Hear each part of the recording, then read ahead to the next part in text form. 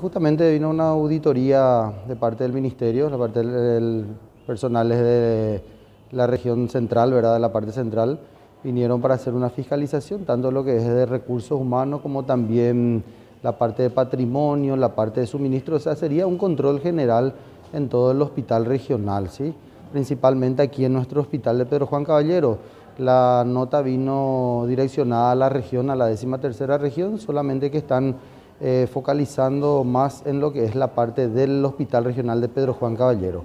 Así como les dije, tanto la parte de recursos humanos como también la parte de patrimonio, es decir, para ver si están todos los equipos patrimoniados, si están ubicados en sus respectivos lugares y así sucesivamente. ¿Esto sería para controlar horarios, esas cosas también? También, también están haciendo un control interno en la parte del horario, las guardias, ¿verdad? Corroborar si está todo en orden eh, como figura ¿verdad? el horario de los médicos de guardia, los médicos de consultorio, así también de los administrativos. Bueno, ¿y esto eh, cuándo empezó, doctor?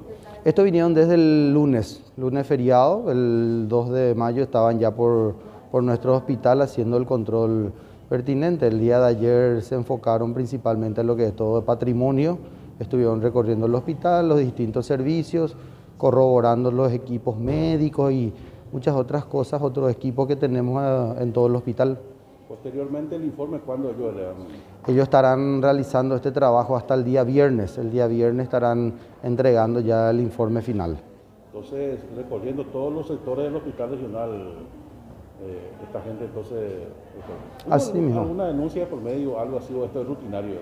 Mira, yo creo que nosotros habíamos solicitado a nuestro ingreso ¿verdad? El año pasado ya una, intervención, una fiscalización, digamos, una auditoría interna. Eh, yo no sé si viene al caso este porque fue un pedido del doctor Saúl, ya como te dije el año pasado, pero de denuncia tenemos solamente el conocimiento que estuvo la vez pasada el intendente aquí por, por el hospital, pero una denuncia formal no tenemos hecho ninguna aquí en nuestro hospital.